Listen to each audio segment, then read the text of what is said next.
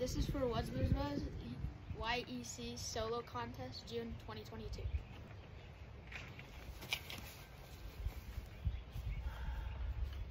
Ready? One, two.